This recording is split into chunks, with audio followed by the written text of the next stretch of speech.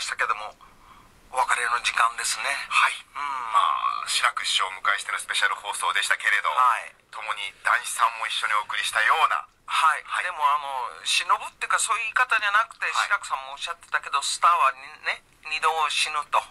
一度はその生命っていう部分だけどあもう話話に登らなければっていうね、うん、あの死んだも同然。だから今生きてるって思ってね。皆さんの記憶の中にあり続ける限りですよね。ね。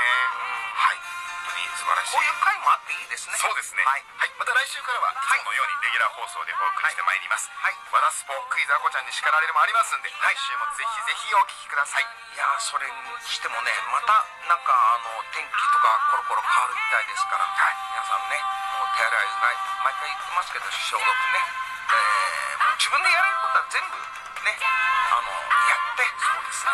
感染対策しながらどうぞ穏やかな気持ちでこの週末をお過ごしください。和田アキ子でした。秋山正でした。じゃあ来週までお元気で。さようなら。